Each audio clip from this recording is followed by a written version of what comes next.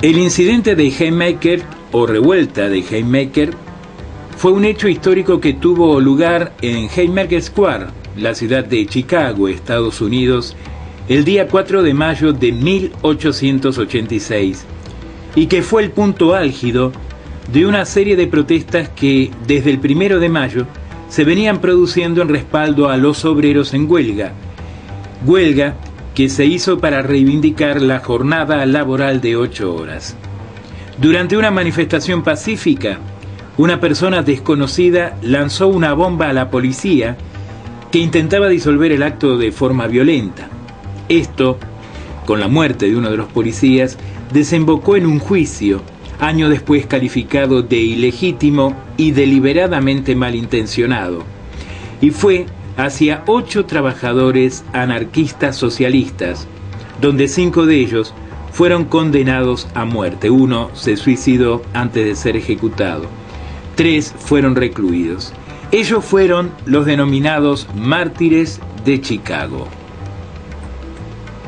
Los mártires de Chicago fueron ocho líderes laborales, Parsons, Spice, Felden, Schwartz, Fisher, Link, Engel y Nibby fueron acusados de conspiración por esta bomba que mató al policía. El juicio que condenó a siete de ellos a morir ahorcados y a uno a 15 años de cárcel estuvo realmente plagado de mentiras e incluso el fiscal llegó a pedir al jurado que se castiga a esos hombres y que se haga un ejemplo con ellos, cuélguelos y salve así las instituciones. El 11 de noviembre de 1886 fueron ahorcados Persons, Spice, Fisher y Engel. También Louis Link, anarquista, se suicidó en prisión. Fielden, Navy y Schwartz lograron conmutar la pena de muerte por cadena perpetua. Más de 200.000 personas asistieron a la procesión funeraria de los líderes muertos. El caso de Haymaker provocó un escándalo internacional. El gobernador Ogleby recibió cientos de miles de cartas que le pedían clemencia para los condenados, pero todo fue inútil. Los condenados fueron ejecutados. La verdadera causa de su muerte no fue la explosión de la bomba, sino la capacidad para organizar a la clase obrera en demanda de mejoras laborales. Esto, obviamente, amenazaba los intereses industriales y conservadores dentro del gobierno. El Colegio de Abogados de Chicago condenó el juicio y siete años después, el gobernador de Illinois, John Peter Athiel, declaró la inocencia de los ocho acusados, la inocencia siete años después, y liberó a los tres sobrevivientes. Se construyó un monumento para depositar los restos de los hombres juzgados y honrar así su memoria. Más tarde, los restos de otros líderes laborales como Emma Goldman, Bill Highwatt y Joe Hill fueron depositados en el monumento Haymaker en Chicago. El primero de mayo se declara el Día del Trabajador. En 1889, durante el primer Congreso de la Segunda Internacional Socialista, que fue celebrado en París, se decidió que el primero de mayo se iba a conmemorar en adelante la solidaridad laboral.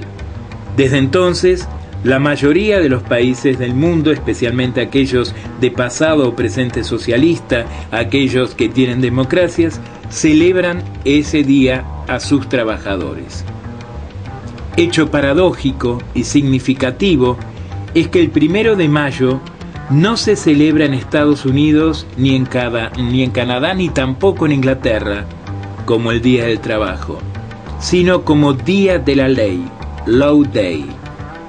En esos países se otorgó a los trabajadores el primer lunes de septiembre, un día sin significativo histórico, y ese día sí se celebra el Labor Day. La jornada laboral de ocho horas en Estados Unidos tuvo que esperar hasta 1935 para ser aprobada y fue durante la presidencia de Franklin Roosevelt. El primero de mayo de 1886, 200.000 trabajadores iniciaron la huelga, mientras que otros 200.000 obtenían esa conquista con la simple amenaza de paro. En Chicago, donde las condiciones de los trabajadores eran mucho peor que en otras ciudades del país, las movilizaciones siguieron los días 2 y 3 de mayo. La única fábrica que trabajaba era la fábrica de maquinaria agrícola McCormick, que estaba en huelga desde el 16 de febrero porque querían descontar a los obreros una cantidad para la construcción de una iglesia. Samuel Fielden, inglés de 39 años, pastor metodista y obrero textil, fue condenado a cadena perpetua. Michael Schwab, alemán, 36 años, tipógrafo, condenado a cadena perpetua.